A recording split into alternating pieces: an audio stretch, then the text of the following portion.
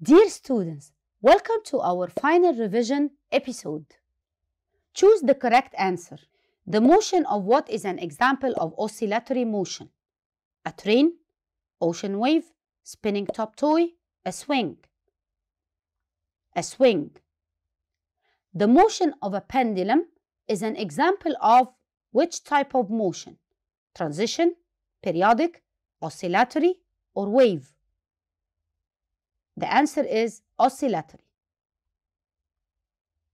Maximum displacement achieved by an oscillating body away from its point of rest is called complete oscillation, periodic time, amplitude, or frequency.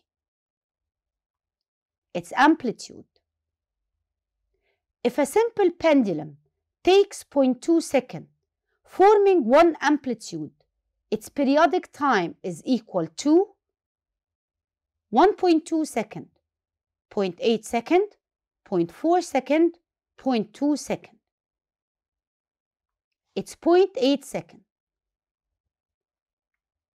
If an oscillating body makes 600 complete oscillations in one minute, the frequency is equal to 0.1 Hertz, 0.6 Hertz, 6 Hertz, 10 Hertz. 10 Hertz.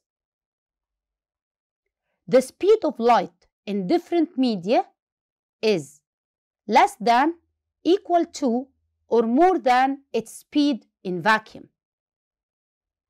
It's less than. What waves are composed of compressions and rarefactions? Sound, light, radio, ultraviolet rays. Sound. If the vertical distance between the crest and the trough of a wave is 10 centimeter, the amplitude is equal to 2.5 centimeters, 5 centimeters, 10 centimeters, 20 centimeters. It's 5 centimeters. The horizontal distance between consecutive crests and troughs of a wave is equal to one-fourth the wavelength, half the wavelength, equal to the wavelength, double the wavelength.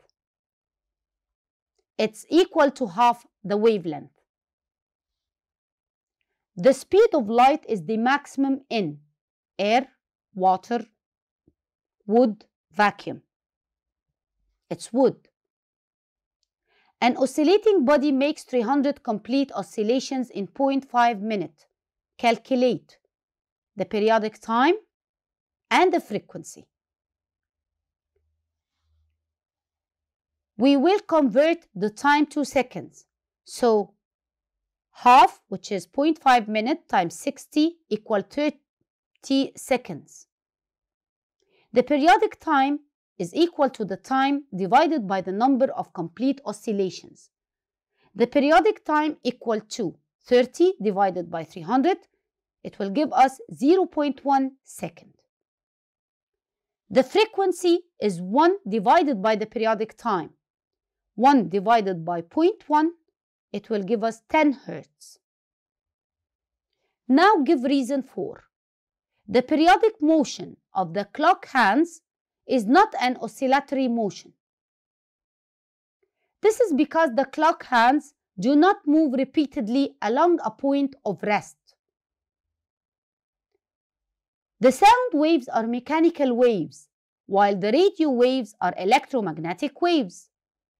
This is because sound waves require a medium to propagate in, while radio waves can travel in vacuum.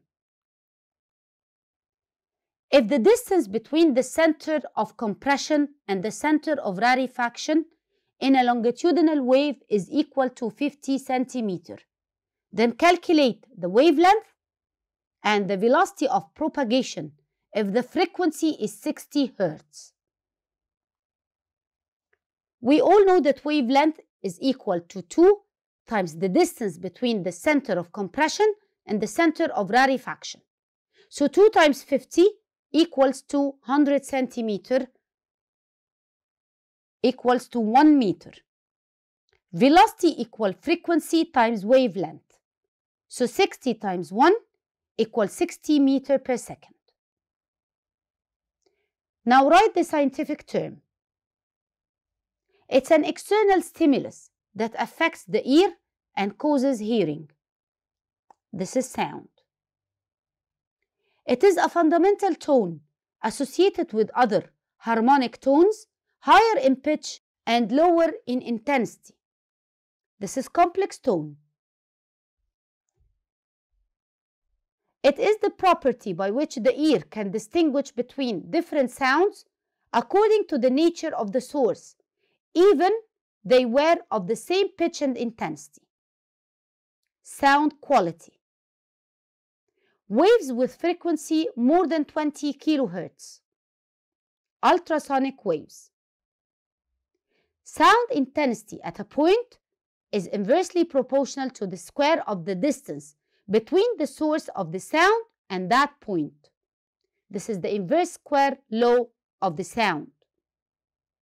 Packets or quanta of energy of light waves. Photons.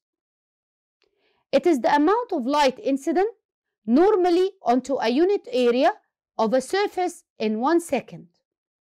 This is light intensity. The light changes its path when it travels from a transparent medium to another transparent medium due to different optical densities of media. This is light refraction. It is the ratio between the speed of light in air to that in another transparent medium. This is absolute refractive index. The light rays reflect in different directions when they fall on a rough surface. This is irregular light reflection. During light reflection, the angle of incidence is equal to the angle of reflection. This is the first law of light reflection. The angle between the incident ray and the normal. Angle of incidence. Thank you. Dear students, thank you for watching and see you later in other science episodes.